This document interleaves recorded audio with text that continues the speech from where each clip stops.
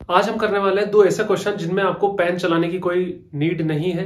दिखते ही इनको सॉल्व किया जा सकता है। मैं तो पेन चलाऊँगा ताकि आपको समझ में आए। क्वेश्चन क्या दिया हुआ है? A 25 watt 220 volt bulb and 100 watt 220 volt bulb are connected in parallel कुछ चीज़ों को बस हमें ध्यान रखते हुए समझना है। दो बल्ब दिए हुए हैं। एक है 25 वॉट का 25 वॉट और इसको कितना वोल्टेज चाहिए? 220 वोल्ट चाहिए, तब ये 25 वोल्ट के बराबर परफॉर्मेंस देगा। मतलब ये रेटेड वोल्टेज है इसका। दूसरा बल्ब है 100 वोल्ट का। 100 वोल्ट और 220 वोल्ट इन दोनों को किसमें कनेक्ट कर दिया? पैरेलल में कनेक्ट कर दिया। कितने वोल्टेज के साथ? 440 वोल्ट के साथ।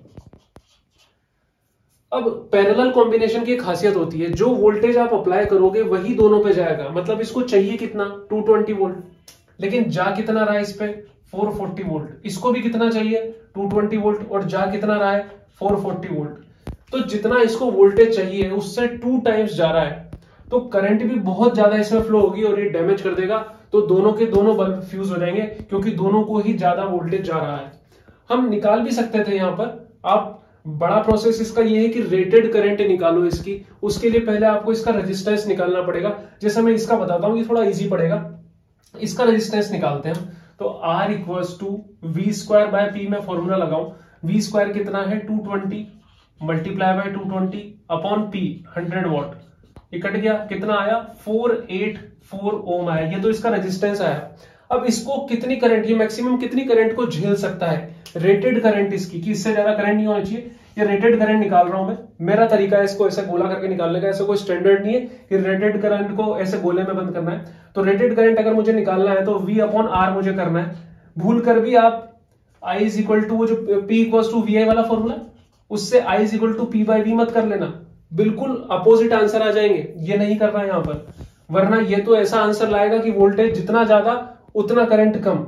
आप खुद देखो अगर यहाँ 220 रखोगे तो करंट कम है। और फोर फोर फोर मतलब 220 रखोगे तो करंट ज़्यादा है। और 440 रख दोगे तो करंट और कम हो जाएगा। तो ये तो यहाँ रॉन्ग है लगाना।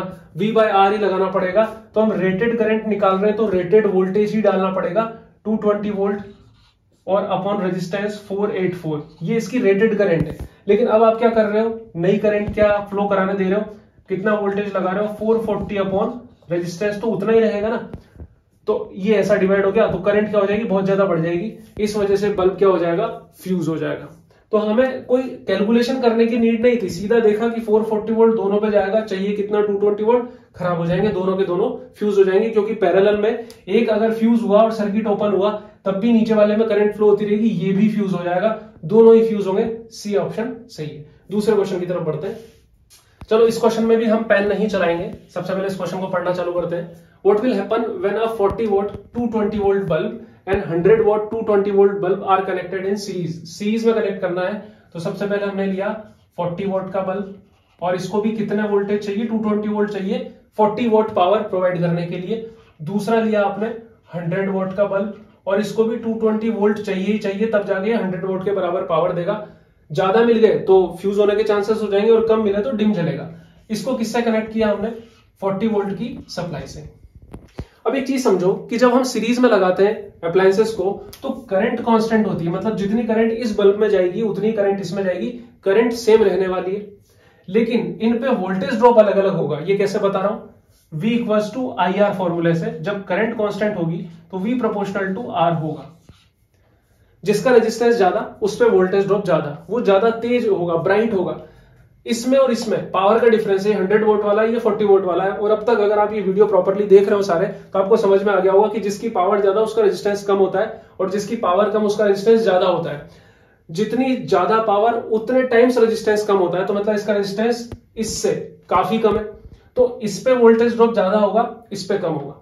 लेकिन देखने वाली बात यह है कि इसको फिर भी 220 वोल्ट चाहिए। और आपने टोटली वोल्टेज कितना लगा दिया? 40 वोल्ट यही जाके डिस्ट्रीब्यूट होगा।